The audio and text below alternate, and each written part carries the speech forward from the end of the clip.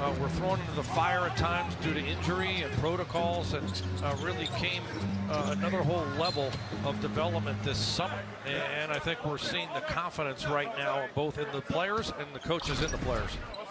Morris defending Danilo Gallinari. Hill launching a three.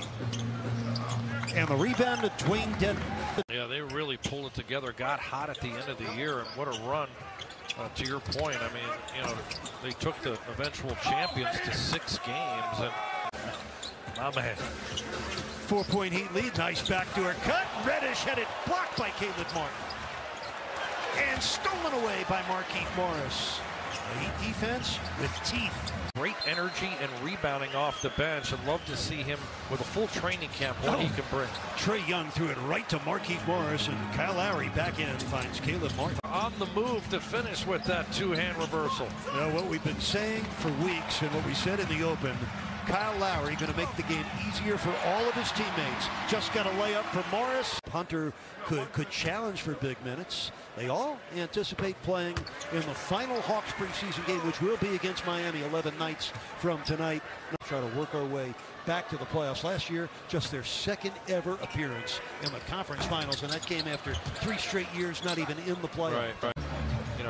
You know, showing them, hey, good habits lead to this kind of success. And once you get a taste of that playoff experience and how hyped it is, and how everyone's talking about your game. Done after one half of play. We'll see you after this one's complete. Back out to John Crotty and Eric Reid at FTX Arena in Miami. Dedmon and Tyler Herro starting the second half for Miami. Uh, what he's going to do offensively he can score so many different ways. Just fun to see his creativity out there. Hero just picked up his second foul. Morris for the blocking foul. Here's Herro, aggressive offensive. Morris for three. Zheng with a rebound.